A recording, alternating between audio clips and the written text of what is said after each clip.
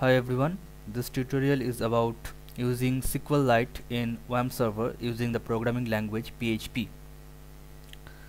Before we start, I need to give a short introduction that SQLite extension is bundled along with WAMP server uh, from PHP 5 and so on I think. In my web browser I have opened php.net slash manual slash en intro.sqlite.php in this extension it is written if I go inside installing configuration and under that requirements it gives me the information that SQLite extension is bundled by default as of PHP 5.0 beginning with 5.4 the SQLite extension is available only via PECL so for those who are running current version of PHP and WAMP server can easily use SQLite extension in PHP without any kind of installation or uh, adding any kind of plugin or anything else. Well for this program I will show example of SQLite 3 some information are available here. SQLite 3 is available from PHP 5.4 or 5.3 I think. It is written in here 5.3.0 yeah the SQLite 3 extension is available from PHP 5.3.0 it is written in the PHP documentation. If you want to use uh, PHP mm, programming language with SQLite and uh, you can uh, dig more deeper uh, then uh, I, I would suggest to uh, you should look at those two pages in PHP documentation especially this one that specifies the functions list resource types configuration and everything about uh, SQLite 3 as for my program I have already running my WAMP server. In my WAMP server homepage my PHP version is 5.4.12 so clearly I can use SQLite 3 for those who are running uh, an older version of PHP can use SQLite 2 the functions and syntax are a little bit uh, different but uh, the query language are more or, less, uh, more or less same. So it is clear that SQLite extension is already added inside WAMP server. But before I start using SQLite actually using creating database and uh, reading and updating tables I need to uh, do some configuration work in WAMP server. That is necessary otherwise SQL SQLite will not work. I have a small program here that creates a table and inserts some data and then reads just one row and shows web uh, shows in web browser in a table format. But if PHP uh, 5 uh, if I am using PHP 5.4 or greater then only I can use this program because this is written in SQLite 3 so at first I should check if SQLite 3 is available in my PHP or not it can also be checked from PHP info page but it is recommended that we should uh, write a code snippet for checking if the class exists SQLite 3 if the class exists then there is no problem. If the class doesn't exist then we should abort the program immediately. So if I run this program now inside my SQLite directory SQLite.php I will get instantly the error that SQLite 3 not supported. So to make it up and running I need to make a small change change here in WAMP inside PHP php.ini I have to go to the extensions. Uh, once again I should clarify that this thing that I am going to do that extension configuration is required only for Windows. It is not required for Unix users. Here it is the DLL files that are all listed here. Remember the lines that starts with that semicolon. It is uh, those lines are commented.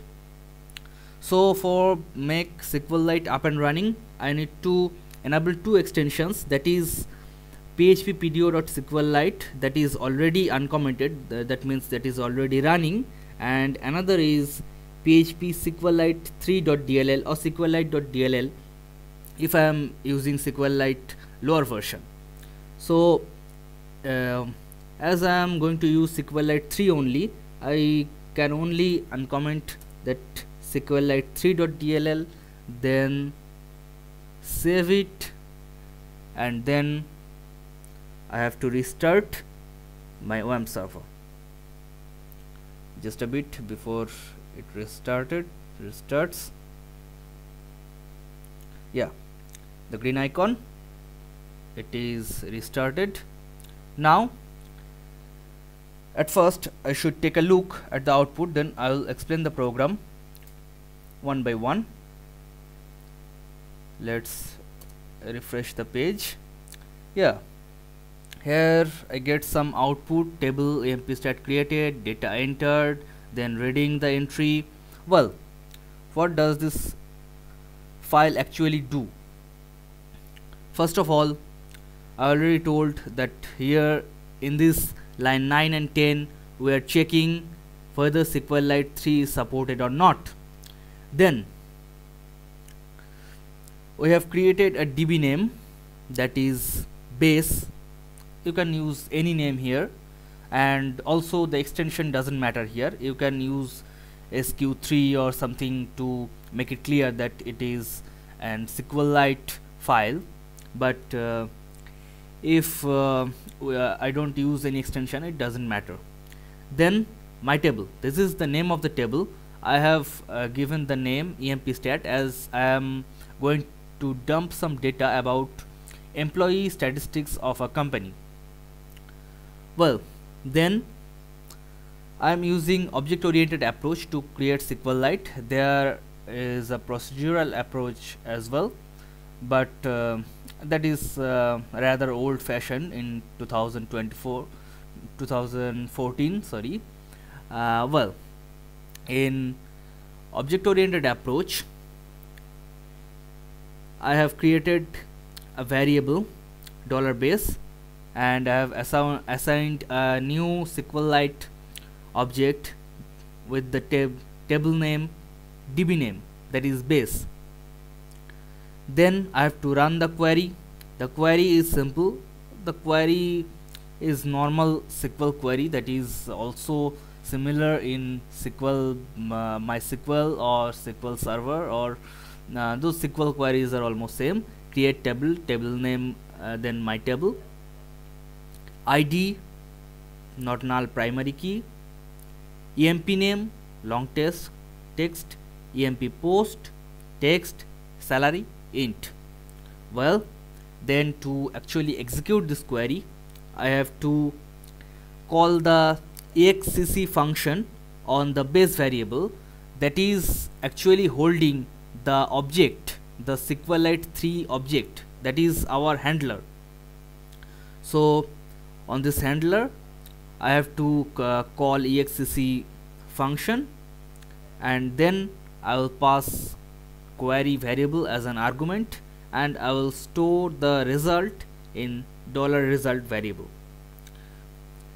If dollar table is not created if the query is not successful then it provides um, some in uh, boolean false information not necessarily 0 but it may be equivalent to 0 if it is equivalent to 0 then we have to exit.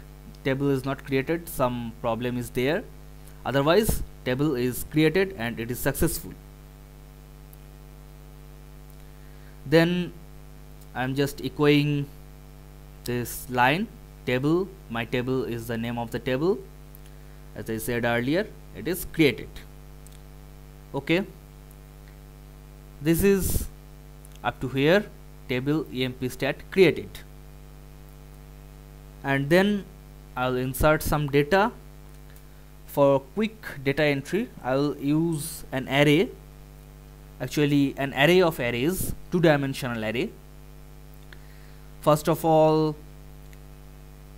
the ID then the employee name then post and then the salary well I have inserted I have created actually the uh, two dimensional array with four rows. And now I will run the for loop to traverse that array. And for each array for each array uh, row actually I will store the value in a variable id in a variable number name in a variable name post in a variable post and then salary in a variable salary. And then I will run the query again insert into table name id emp name emp post salary values. This number name post and salary variables those I created just above and then similar I have to call the exec function for executing the query and I will store the result in results variable. And as the loop runs from 0 to count a that means uh, it is 1 2 3 4 5 here. So the for loop will rotate 5 times I will get 5 rows of data inserted in my table that I created earlier. And then again I will check if the result is false or true. If the query is successful then the result is not boolean 0 something else. If the result is not successful then uh, the result is uh, the result variable will actually return 0 or something that equivalent to boolean 0 well then I have printed data entered into my table. That is the table name. Here we get the output. Data enter into emp stat successfully. Then I'll read the data back to see if it is actually inserted. If we can read the data back from the table well the query is simple. Select id emp name emp post salary from my table that is table name. Then I will execute the query similarly.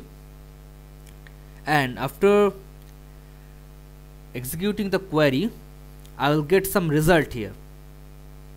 That is the um, uh, result that is the row actually that is returned from the table to get the row inside an array I have to call the function fetch array.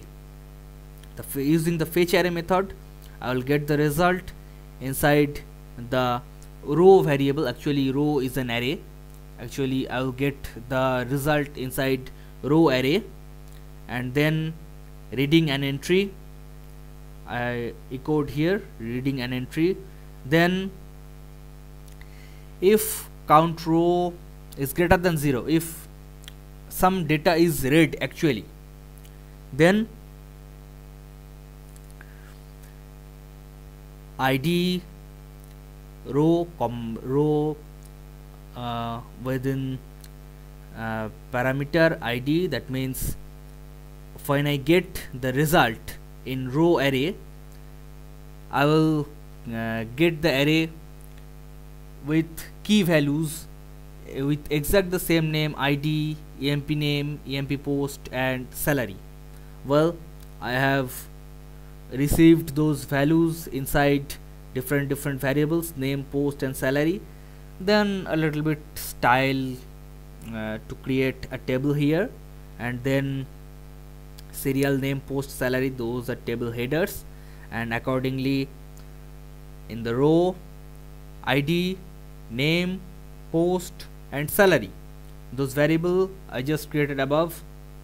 Those I am printing out and then I'm finishing creating the table. And else I have created a if statement here. This if statement checks if some data is read at all. If some data is not read that means there is some problem in reading. If there is some problem then I have to simply print out the output on the browser that can't access my table. That table is not accessible. But in this case my result is successful and after echoing reading an entry I get my table and I get just the first uh, row of data that I inserted. Let's have a look at that again. Let's have a look. Yeah this was the first data John Doe CEO 10,000 salary. Well I have got the first row of data if I run this on a for loop or a while loop I can easily run this using this uh, uh, row variable uh, checking uh, up to when the row variable gives a result. And then uh, by this method I can uh, detect the end of the table. Uh, if I run this code snippet inside a loop then I can get back all the data. But for my testing purpose this is enough. I have got my data and that means it is successful. So this table creation data insertion and then reading data is successful there are a lot more functions in SQLite that you can use. I recommend to go through this uh, PHP.NET manual uh, pages on SQLite you can uh, search any functions with SQLite here and you, you will get the result. SQLite array SQLite busy timeout SQLite changes. There are many more so if you want to dig deeper good luck. Go ahead. For now I have only shown a simple example that shows how to create and use actually SQLite within the WAMP